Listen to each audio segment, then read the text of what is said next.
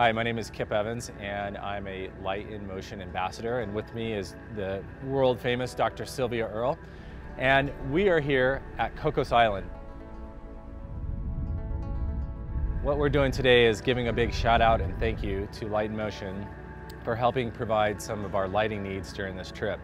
And uh, specifically, I wanted to tell you a little bit about uh, the Sola 8000 that I've been shooting all week, and Sylvia has been shooting the Sola 4000.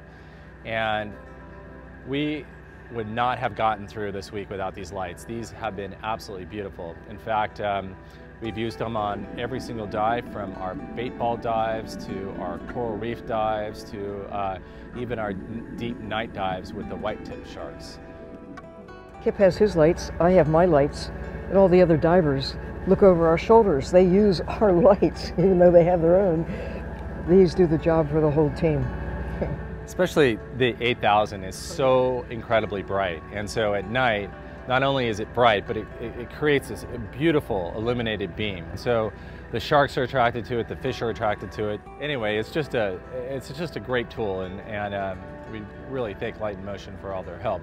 I do I do have one piece of bad news I haven't shared with you, and it's probably a good time to share it with Light & Motion, and that is, um, unfortunately, um, I had one of the silky sharks take a small nibble on this Sola 8000. So this is rough and tough.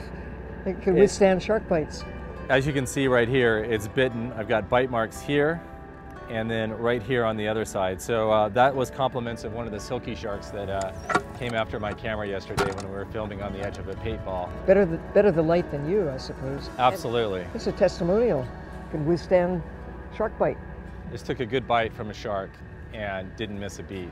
I used it for the rest of the afternoon. So not only are they producing a lot of beautiful light, but they're also really strong and robust. Shark tested. What I'd like to do right now is just share a little bit of footage with you and um, show you what we've seen here at Cocos during the last week.